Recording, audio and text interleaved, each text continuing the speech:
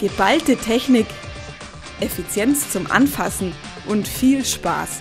Der Feldtag Wadenbrunn ging 2012 mit einem völlig neuen Konzept an den Start und mit einem Besucherrekord zu Ende. Die Mischung aus Show und Unterhaltung, Information und neuester Technik hat in diesem Jahr rund 58.000 Besucher angezogen. Das äh, Resümee ist sehr gut. Wir haben also unsere Botschaften haben wir komplett transferieren können. Wir haben einen tollen Tag gehabt, das Wetter war optimal, die Einsatzbedingungen waren optimal, alle Maschinen haben gehalten, es sind keine Unfälle passiert, alle Besucher waren glücklich, also auch eine sehr gute Stimmung in der Landwirtschaft, die sich hier wieder gespielt hat. Also rundum sind wir zufrieden. In drei verschiedenen Shows wurden in der Arena und auf dem Feld die neuesten technischen Entwicklungen präsentiert. Den Auftakt machte die Traktorenshow mit den Baureihen 200, 700, 800 und 900 Vario.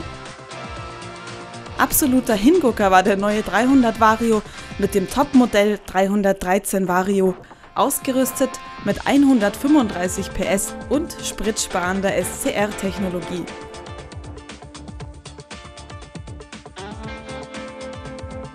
Und diese beiden hier kennen bereits die Vorzüge dieses Modells.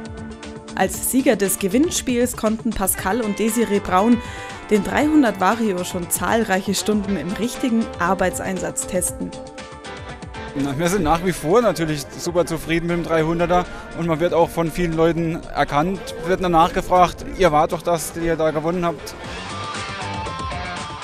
In den anderen Shows wurde das gesamte Fendt Fullline-Programm mit der neuesten Erntetechnik und den Innovationen Made by Fendt vorgestellt.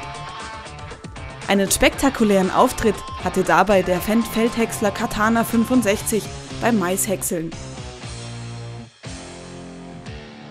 Schwer imponiert hat auch der neue Mähdrescher der C-Serie mit der neuen Skyline-Kabine, der in Wadenbrunn erstmals öffentlich vorgestellt wurde.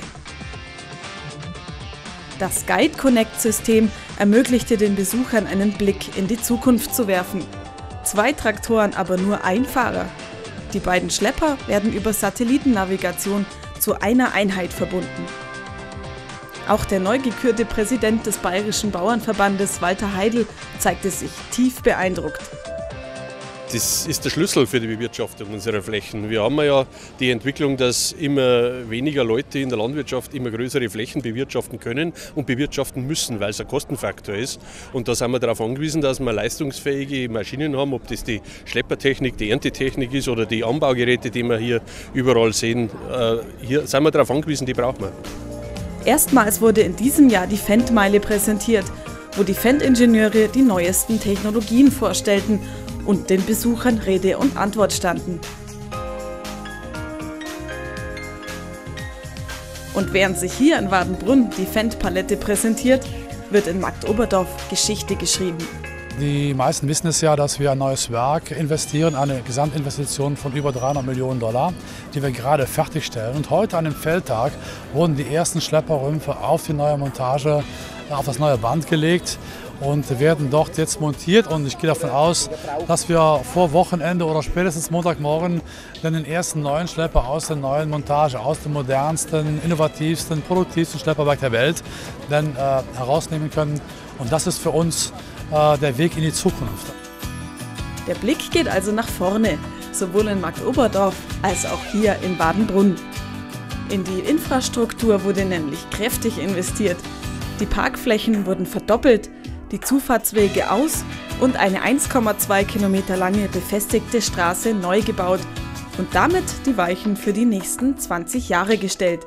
Der Fendt-Feldtag wird auch künftig hier in Wadenbrunn auf dem Gelände des Hofguts stattfinden.